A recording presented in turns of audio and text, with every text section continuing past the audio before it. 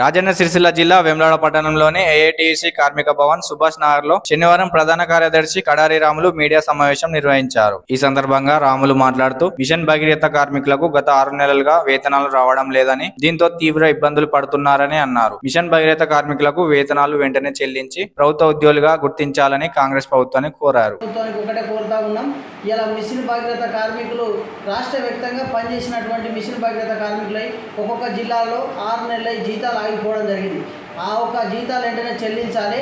అదేవిధంగా ఇలా కొన్ని జిల్లాలలో ఇలా ఒక్కొక్కలకు ఒక్కొక్క జిల్లా వేసిగా జీతాలు ఇవ్వడం జరుగుతూ ఉంది. ప్రధానంగా ప్రభుత్వంలో వాళ్ళకు ఇలా గౌరవ సుప్రీంకోర్టు సమాన పనికి సమాన వేతనంగా ఇవ్వని చెప్పినప్పటికీ ఇరవై ఆరు వేల వేతనం ప్రతి మిషన్ బాధ్యత కార్మికులకు ఇవ్వాలనేది ఎన్నోసార్లు డిమాండ్ పెట్టినప్పటికీ గత ప్రభుత్వం ఎలాంటి స్పందన చేయలేదు ఈ ఈ ప్రభుత్వాన్ని మేము ఒకటే కోరుతా ఉన్నాం.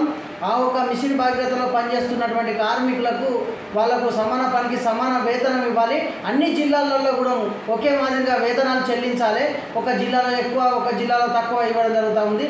ప్రధానంగా వాళ్ళని కూడా ప్రభుత్వం ఈ కాంట్రాక్ట్ రద్దు చేసి వాళ్ళను ప్రభుత్వంగా వాళ్ళని కార్మికులను పెట్టుకోవాలనేది మేము కోరుతా ఉన్నాం.